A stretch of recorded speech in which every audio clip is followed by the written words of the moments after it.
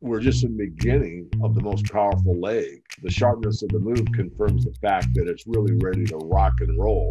We're in the right place at the right time. Don't lose faith. If you bought a little bit high this year, I don't think you're going to have to worry about it.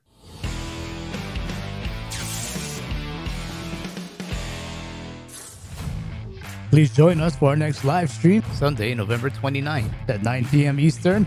We'll go over current events, past guests, and of course, gold and silver news. Once again, our next live stream will be Sunday, November 29th, 9 p.m. Eastern. See you then. Hello again, everyone, and welcome to another edition of Silver Bullion Television, SBTV. I'm your host, Patrick Vierra. As always, if you are new to this channel or you haven't already done so, please do subscribe, hit the bell to be notified of new updates, and give us a thumbs up. If you like what we do, we truly do appreciate your support. David Morgan, the Silver Guru, is our guest today. David is the publisher of the Morgan Report.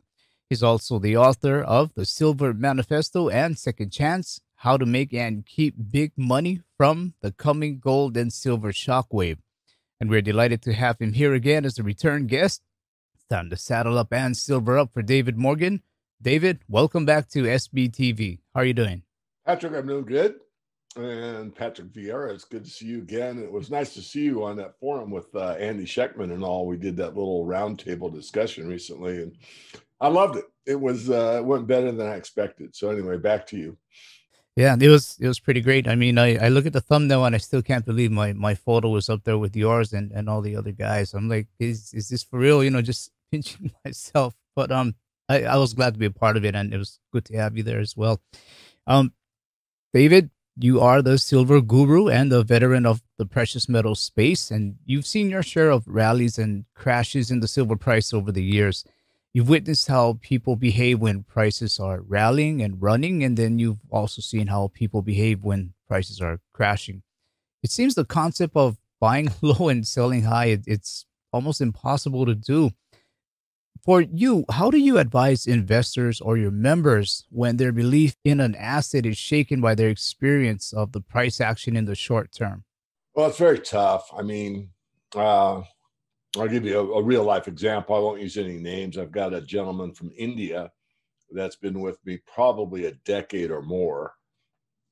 And I'm not really sure how much he trades. I really prefer most people to just stack. I mean, if you go back to the 10 rules of silver investing that I wrote so many years ago, it basically says, you know, start small and accumulate. Dollar cost averaging is really the best for almost everyone.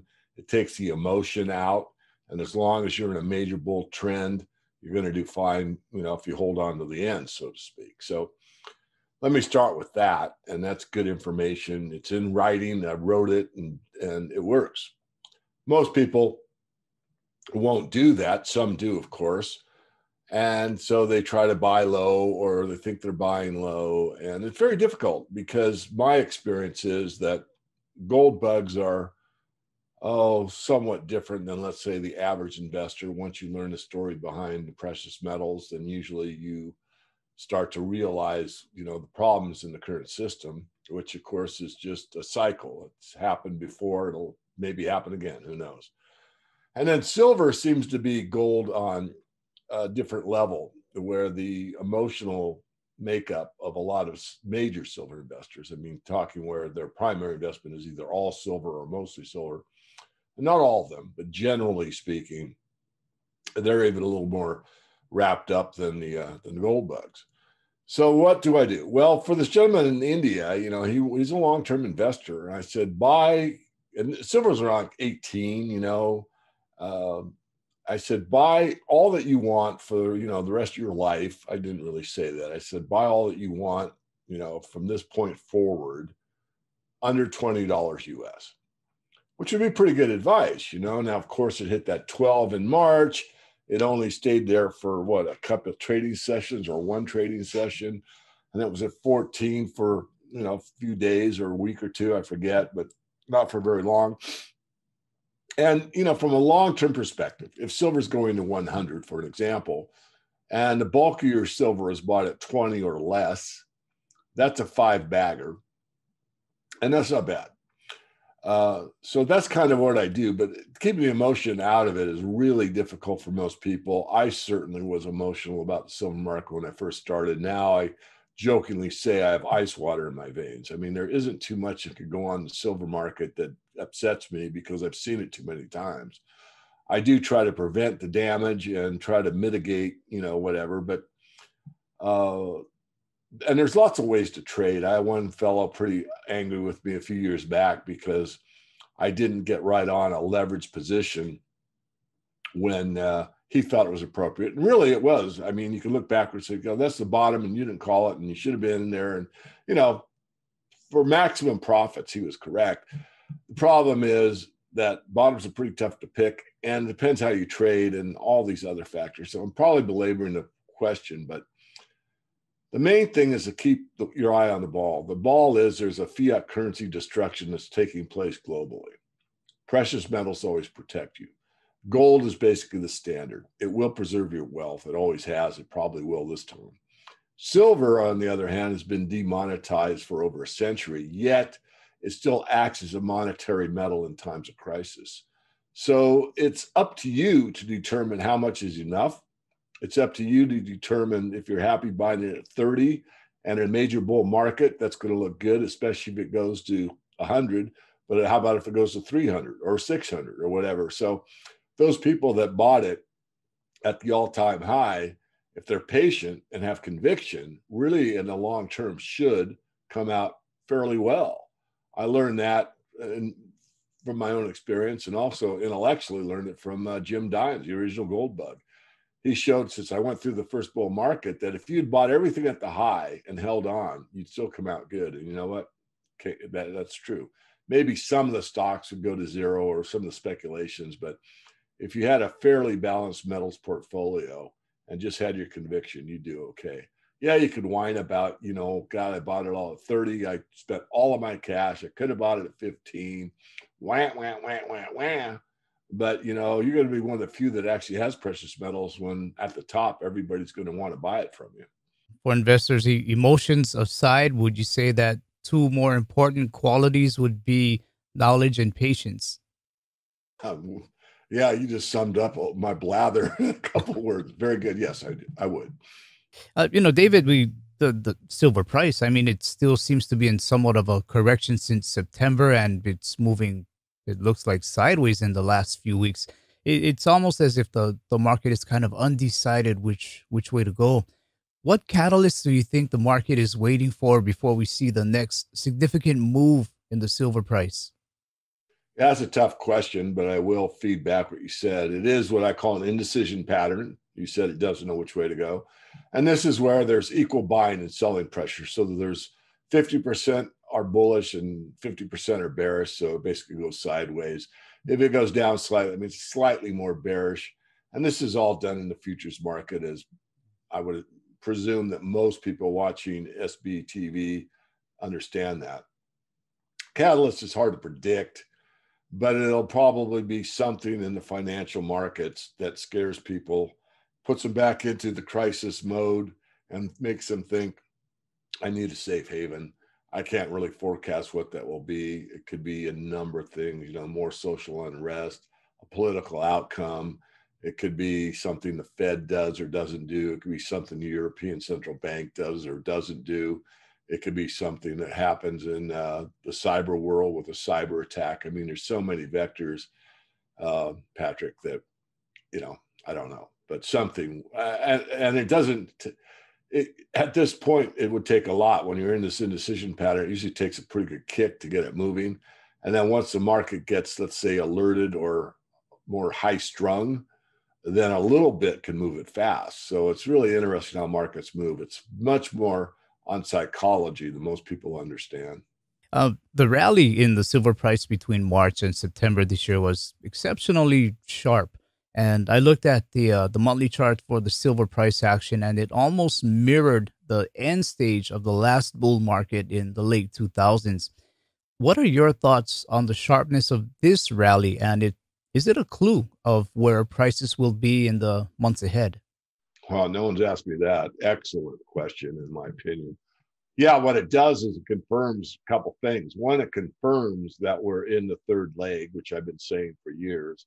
Secondly, it confirms that the sharpness of the move confirms the fact that it's really ready to rock and roll. And so it's just absolutely verification of what I think we're doing in the silver market specifically and in the markets generally. So basically, to me, the way I read it, it's confirmation. The next leg up will be the most powerful. It probably won't be the longest in time. And that we'll, we'll all call it a mini parabolic move that you're referring to was just a taste, a foretaste of what we're going to see at some point in the future. Okay, so before we get there, do you think we're going to see another maybe few months of this this sideways movement? Yeah, we could. We could see all of you know November, all of December. I think we're going to get a rally in the first quarter of 2021, and I'm really thinking the peak could be somewhere in 2022 or 2023. Uh, Mike Maloney of GoldSilver.com did a an update. Uh, oh, I don't know, about a month ago, and he did a projection based on the previous uh, gold move. And the overlay was almost identical. And when he did the overlay, it projected, I forget the number of what gold got to, but the date I think was November 2023. Um, and that was, you know, it doesn't mean it's going to happen, but it did show that these markets do move in cycles. And so that's that's what we're looking for. And um, in your opinion, where do you think we're at in this this silver bull market right now? Is it still in the accumulation phase, the public participation phase, or the final mania phase? Well, we're certainly not at the mania phase. We are in the third leg, and we're kind of in the stealth phase of the third leg. You know, a lot of people, and remember, these bull markets climb a wall of worry. So there's somebody out there that bought at 28, paid a very high premium because there was just extreme premiums in the retail market for several weeks. And they're sitting on that silver right now and they're starting to lose conviction. You know, it's like, wait a minute, I paid 28, I paid $6, I paid 34 my cost, and now we're sitting at 24. If I had to sell $10 out of 34, that's like a, you know, 35, 40%, you know, loss you know, my wife's mad at me, I'm mad at myself. I mean, all these thoughts go on. Again, going back to more psychology in the markets than most people stop to consider. But overall, we're just in the beginning of the most powerful leg that will, in my view, go in the record books. I mean, this whole monetary reset is just starting, and where it's going exactly, I don't know if anyone knows. I've certainly been writing about it both in the uh, mostly in the private part, the paid subscribers or members, but I've also said a lot in the public domain. And it's a CBDC, the buzzword, the trending thing, central bank digital currencies. And then we'll probably go to a cashless system at some point. So everything is going to be digitized. What will silver do in that environment? Silver and gold? Can't know for certain, but they probably will still hold their value or go up. I really believe they'll go up in price and their value will be commensurate with what we've seen at previous tops, which means, you know, two ounces of gold buys the Dow Jones Industrial Average, or you know, so much gold buys an acre of land in you know Manhattan or whatever. So we're far undervalued in both the metals right now, and I think they will regain that. The other part is twofold. One is it's still the most private transaction you can make I hope I'm not upsetting any of our viewers, but if you go back to uh, John Wick movies, which some of you've seen or maybe some of you haven't, but when they do the cleanup, what does he pay in? Pays in gold coins, right? After the uh, disaster takes place and the cleanup crew is called by a, you know, a burner phone, they come in, do their job, and he just goes clink, clink, clink, clink, clink in gold, and that's the end of it. So there we go. Sorry, folks, for my uh, my handsome face, and that's a joke. Uh, the sun's just coming up here in Washington. It's fairly early in the morning. I can't really correct it without uh, shutting the shutters, and then I wouldn't be able to see the video at all. So you have to put up with the with the video. Uh, no, no worries, David. You mentioned the the CBDCs, the central bank digital currencies. Do you have an opinion on if if it may have some type of a uh, an, a gold asset back allocation for for the CBDCs? Yeah, I'm reformulating that, Patrick. I mean, if you asked me five years ago, I'd say it's almost a certainty. Right now, I'm not so sure. I know what they want. They want to do it without any backing, but it may not float.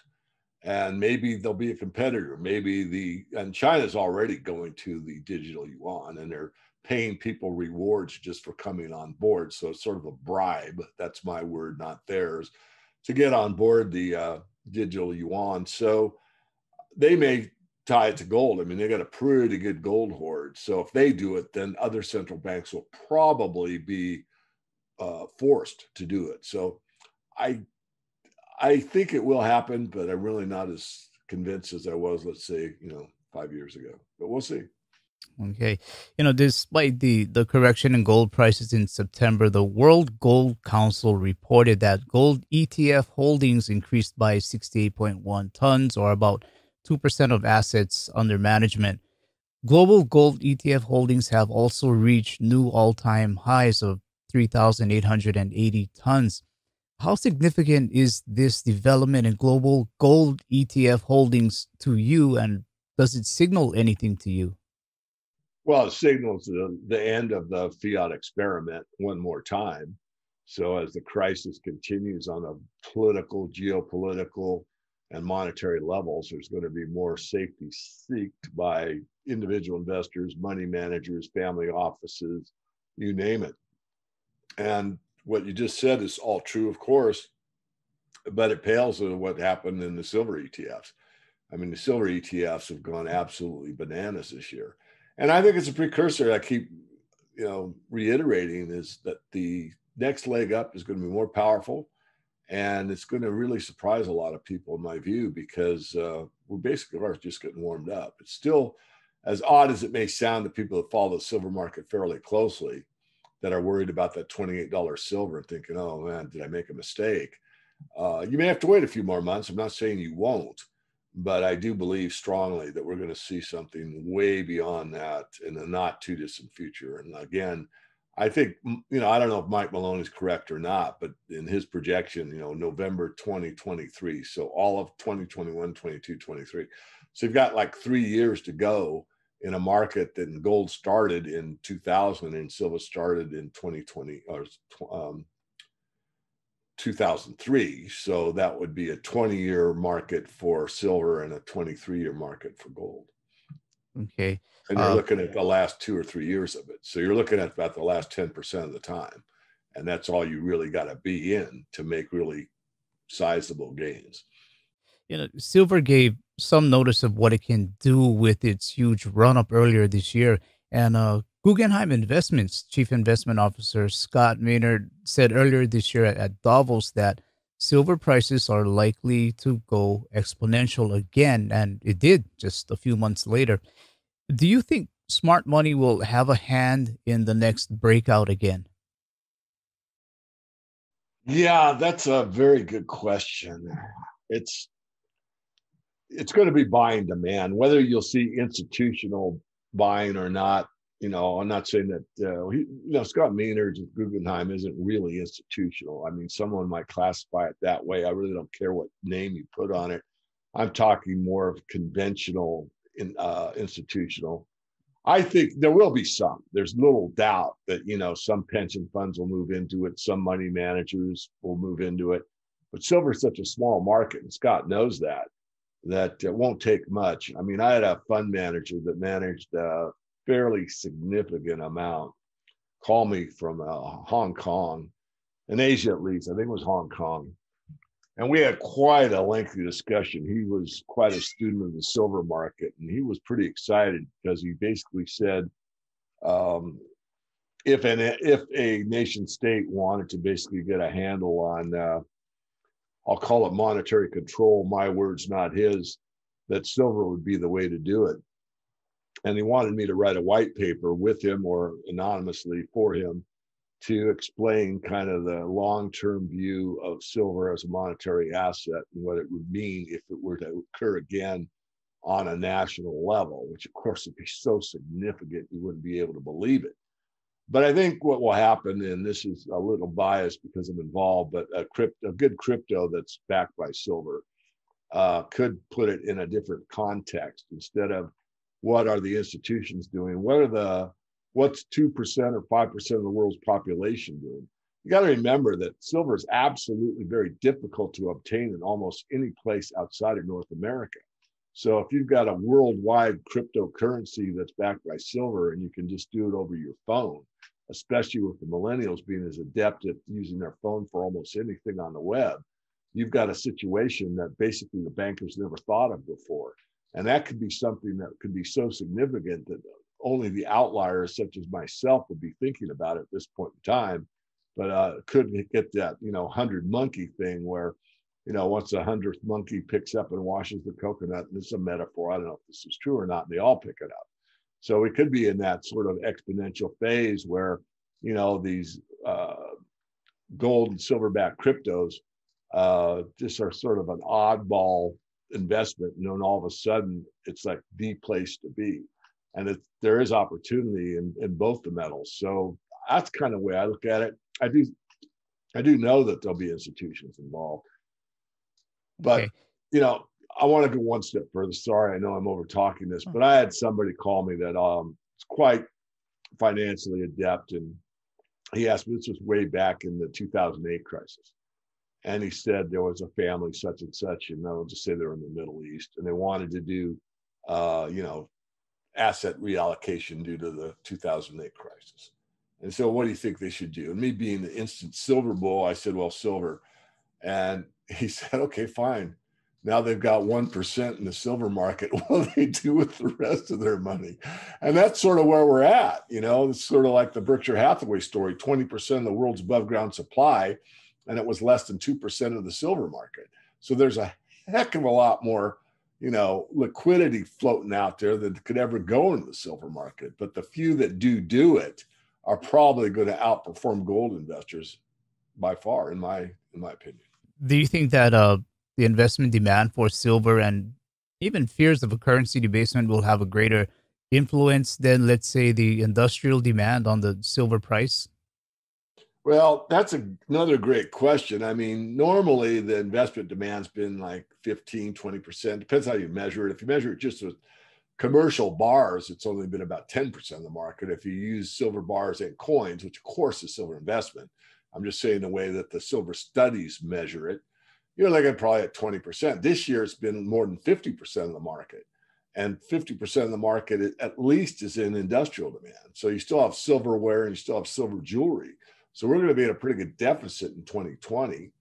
And I think we're just getting warmed up. So if gold's ETF was setting a record this year and silver's ETF was definitely setting a record this year, what if that happens for 2021 and 2022? And I believe it will. And so, yeah, the answer is we're in the right place at the right time. Don't lose faith. If you bought a little bit high this year, I don't think you're going to have to worry about it. Yeah, some good words. Good words. Um, more of your words. Can you share with us more behind the the thinking of your recent article on the Morgan Report where you shared about the pursuit of the unattainable carrot? Yeah, that was uh, a, a um, that was a talk that I did with somebody on the net. I forget who, but the idea is that you're just running in place. I mean, the more they're pumping money into the system, the more it seems like you're getting somewhere. But if you step back and look at it objectively, you're just running faster and faster and faster, but you're staying in place. That's what the metaphor means. And that's where we are. I just did my podcast before the interview, as you know, and I explained it a little bit more on that. So if you're interested, just go to the morganreport.com and go to the blog, pull down the blog, and look at the weekly podcast and you'll hear it. It's not uploaded to the web yet. I just did it, but it'll be available probably by Sunday afternoon. And I go through a very brief talk on what what the crack up boom means, and it's just as that metaphor says, they can print all they want from this point forward. It's really not going to do any good. Now, I want to be careful here because there's people getting checks from the government without them, they'd really be in dire straits. I understand that. But what I'm trying to convey is the system is so broken that that money from the government may be certainly a very important value to you, but it's not going to help you in the long run. The system's too far gone. That's my point. You've said for a while that everyone should buy a little silver. How compelling is the case to buy silver and how much is a little silver? Yeah. Yeah, you're going back. We had a little chat off air. Yeah, it's actually not me. I, I made a, a, a video years ago. I think it's got like 200 something thousand views, and maybe it's that Google always messes with your metrics, but regardless, it's one of the more popular ones I did. And what I said in that video is that dealers will tell you, you know, not necessarily Mike Maloney, but those, you know, bullion dealers, you know, I don't want to name too many. Uh, I, I'm friendly with most of them, but, you know, Miles Franklin, goldsilver.com, uh, Silver Doctors, JM Bullion, all these outlets for retail silver. And go and this really was poked more at the last bull market than this one. But if you go back into as old as I am in the 70s and early 80s, these dealers would say, Well, I think everyone should own a little gold and silver. That's the statement. And I said, Well, that's a ridiculous statement. Here's why. Because if everyone should own a little, how much is that an ambiguous term? How much is a little? And who's everyone? Another pretty ambiguous term. So I looked at it and I said, look, if it's a little, I'm going to use two ounces of silver as a little. And I'm going to use a little for everyone instead of everyone. I'm just going to use the population of the United States because I want to go through this metaphor or this analogy rather. What, what if everyone owns a little, what that would mean. So the population of the U.S. at the time was less than it is now, but now what is it? Um, 350 around there. 260 million or something. Anyway, I just did round numbers. So I got the population of the United States times two ounces of silver at that time was basically all the uh, mining activity for, for the uh, world. And I said, how preposterous is that? What that means is only 5% of the world, instead of everyone in the world, own two ounces of silver and wipe out every ounce that was available year over year over year. If everyone had a little silver and bought, you know, a little each year for three or four years. So I said, not everyone can own a little, and not everyone will own a little. But I just wanted to point out that the statement's rather ridiculous because they never thought it through. But it also shows you how small the silver market is and how little new buying will be required to take it to much higher prices. And of course, we're looking for value, not necessarily price, because at the end stages of the crack up boom, you know, a loaf of bread may be 12 bucks. We don't know yet. We're going to go into that kind of a hyperinflationary mode or not remains to be determined. I think not, but I think that it will be inflationary enough for people to think that that's exactly where we're going to be and that's going to cause the flood out of their savings and into real real things. And it won't necessarily be silver although silver will benefit more than gold because it's more affordable. But you'll see a lot of peanut butter coming off the shelves that will be stored or toilet paper or wax paper or you know frozen foods or canned foods or whatever. And unfortunately this can't be stopped we're at that point, going back to the metaphor with uh, the carrot and the stick and running on the treadmill. These people are running as fast as they can, and then they realize, you know, I got to get off this treadmill, walk on over to the shelf, buy as much, you know, I won't use a brand, buy as much canned soup as I possibly can afford and take it home because two months from now, it's probably going to cost me double. That's what's going to happen. They're going to get off that treadmill realize there's a bit of a way out, and that's the way to basically protect themselves. And the, you know, so that's that's my answer. Yeah, I hear you. I hear you. Amen to that. Um, David, be, before we wrap up, can you let our listeners know more about your work and, of course, the the Morgan report? You bet. Best thing to do is just get on our free newsletter. It's uh, themorganreport.com we just verify it's you and not a robot and we'll give you uh, email access to everything i do on the web. The articles the interviews and then we uh, feature um, offers from time to time not that often that might be of interest to you or not. Uh, the blog of course and i've got a youtube channel. And if you're interested in investing in resource sector right now we're focused pretty much primarily on gold silver royalty companies. We've got some uranium and a asymmetric uh, technology stock. So uh, a lot of these top tiers, you already know their names, and that's really where you make the most money safely. So you don't really need it if you can do um, fairly good stock analysis. And I'll plug my book because you really want to know how to do it on your own and save some money, you can just buy um, the Silver Manifesto, and you can get that at thesilvermanifesto.com. There's a whole chapter in there how we pick a mining company that's not referring to some junior company out in the middle of nowhere that's going to make everybody a billionaire. No, that's not how you pick a mining company. We talk how you pick a solid producer and how you ana- use the analysis to determine one over another one. Okay, David Morgan, the Silver Guru. We thank you for coming on the show, and I hope we can do this again sometime. Patrick, thank you very much. That was David Morgan, publisher of the Morgan Report. For more of his insights on silver and the global economy, please visit his website, themorganreport.com. If you like this video, please hit the like button and subscribe to the SBTV channel to be updated on new content and to also check out the SBTV podcast on iTunes and Spotify.